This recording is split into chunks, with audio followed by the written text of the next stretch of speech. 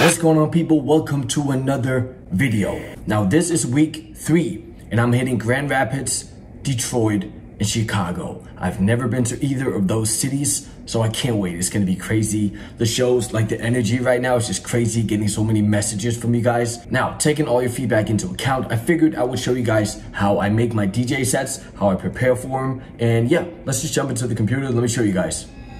Bam! So here we are in the computer and as you see, my software of choice is Serato DJ Pro. Now why is that? Because I used to DJ Serato, I've been a club DJ for like 10 years before my artist career took off.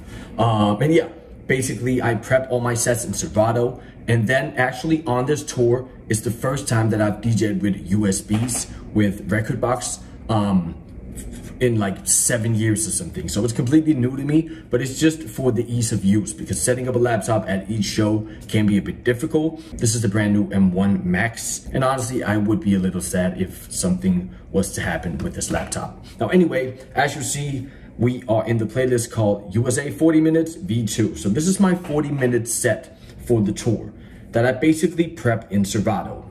So I can see all the tempo over here. I can see the key of the song using like the Camelot scale. So I tailor this set to each venue and try to throw in some local music as well. Try to do stuff like that to get the crowd going a little bit. Um, and as you see, we have intros. We have King is Back. Um, then we have a lot, a lot, a lot of mashups. Here's an example. This is a UK accent, which is a super old track of mine um, that drops into the Blood remix I did of cloud. So I edited intro so it's easily to mix.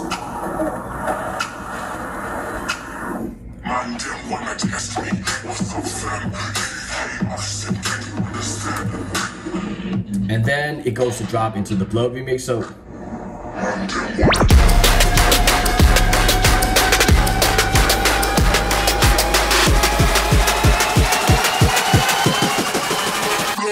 The reason why I prepare my set so meticulously is because transitions, for example, like this one, it's almost impossible to do live. Like taking the track like this and going from 100 BPM to 150 and mixing it in with another track that also needs like tempo adjustments, it's quite close to impossible. So I do prepare my transitions. So this instance, we're going from 100 BPM to 150 as you see right here. Cause that ass crazy, I might as well just slide on over like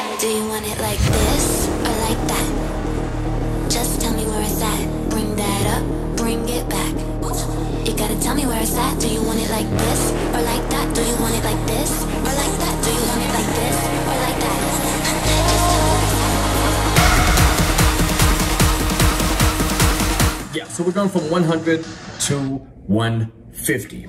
And with these transitions, I always do them in Logic. Um, here is an example of a mix where I'm going from bumping to a Yung Joc a cappella to a chi drop. Um, yeah. This was obviously for ATL. Meet me in the trail, it's going down. Meet me in the mall, it's going down. And then it drops into the chi track called Spit That. One, two, three, four. Yeah, so that's basically how I do my transitions, my sets, my whole layout, um, and then I adjust after each venue or show just to see what the energy was like and what worked and what didn't work. Once I prepare my set here in Serato, I go into Rekordbox, the software by Pioneer, and basically just set up like cue points and auto cues and stuff like that. So it's mixable on just USBs. And on this tour, I've actually only played USBs so far, um, but we'll see if I switch to Serato because that's where I'm comfortable. The thing about Serato I like so much is that you can like scratch transition stuff, and that's not the same feeling you get when you're playing USBs. Um, I am an old school DJ, so I do love to scratch my stuff in also trying the Rocks energy drink. I didn't even know he did that. It's called Zoa. I've been trying all the energy drinks over here. Loki, I want to do a segment where I just like taste American food, but it might be too weird. I don't know. What do you guys think? Would you be down to just see me raid food? I don't know. Fabian Taste America.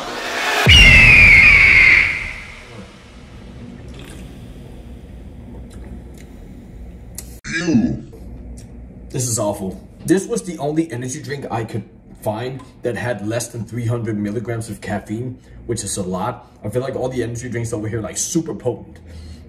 This is awful. Two out of 10. Would drink, but never again. Hold up, let, let me hit the gym real quick. Yo, what's going on people? We back at the gym. Now, I'm gonna take you through a leg day today. I had a herniated disc injury a year ago that's flared up again on this tour from sitting down so much and playing shows. So you will see me struggle on the squat, you will see me not deadlift because I can't do that anymore after the injury and it really, really sucks. These are some of the worst workouts I've had in years, but um, yeah, it is what it is. I'm working a lot on my posterior chain as you see here, glutes, hamstrings, glute medius, all that stuff. Here you see me doing some Bulgarian split squats on this weird bench thing a lot of calf stuff, a lot of tibialis raises as well because, well, I also had a knee injury. But yeah, it really is a struggle. I used to be able to deadlift and squat at massive amounts of weight, and now I'm just stuck with the sled, pushing and pulling. That's the only heavy thing I can do.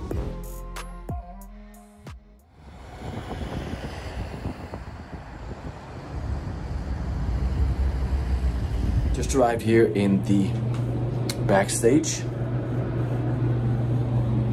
my stuff all over the place. I got like an hour to do sound check. We just checked out the venue out there. Member are doing sound checks right now. And essentially, I'm just gonna get changed here. I usually have like an hour or so. Um, get changed, go to sound check, and then I have an hour to go and see the city before I head back to this venue and play the show itself. So that's usually how it goes. Have like an hour to do sound check, get changed into my playing, performing clothes, and um, yeah, I haven't gone to the hotel yet because my flight got delayed. So I'm not going to be able to go to the hotel until after the show tonight. Super stoked for the show tonight. Let's see how it goes.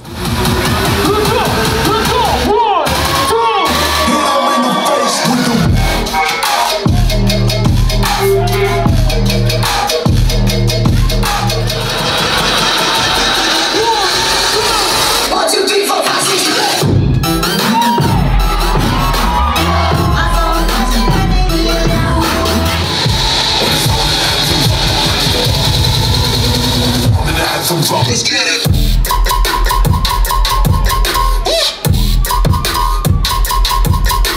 After the show, eating oatmeal out of a cup. Life.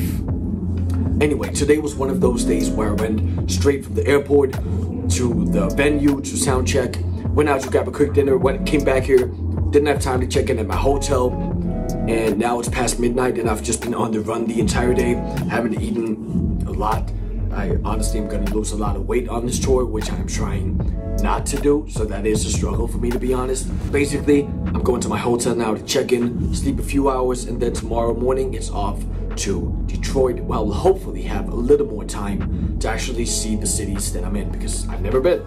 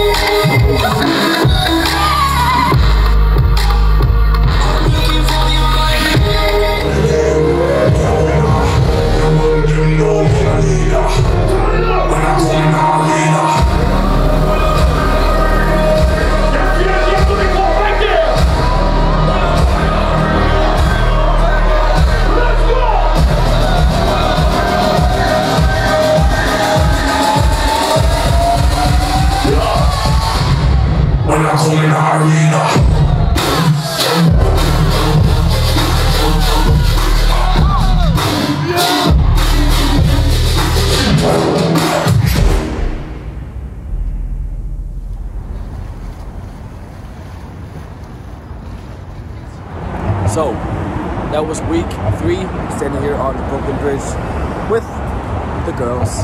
Hi. This weekend was filled with flight delays. I didn't have any time in any of the cities. Just basically went from venue to hotel to airport and got no time to see any of the cities that I visited. But Naya flew in from Mexico on Saturday in Chicago. Surprise visit. This will be the last time you will see this wonderful woman in the vlog. You want to say bye? Do you have anything to say to all the Hi, bloggers. All right, guys. Thank you so much for watching. That's it for week three. Catch you in the next one. Baby, I'm a son on the beat.